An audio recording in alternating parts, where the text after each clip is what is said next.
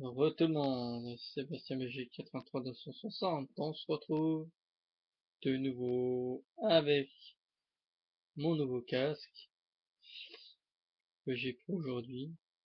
Donc euh, on va attaquer pour une première vidéo sur The Group et demain euh, soir. Euh, par contre là je ferai aucune vidéo et aucun live de toute la journée, je jouerai que le soir.